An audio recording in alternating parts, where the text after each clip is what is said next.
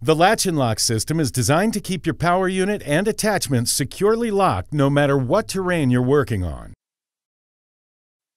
The latch from the lower power unit grabs onto the latch pins on the attachment. To detach the two parts, simply lower the kickstand to release the latch and tip the power unit downwards. To connect the power unit to an attachment, it's important to first raise the kickstand. This will allow you to easily lower the power unit towards the attachment, push down on the handlebars, and the latch will hook tightly back onto the latch pins. Troy-Bilt Flex. It just clicks.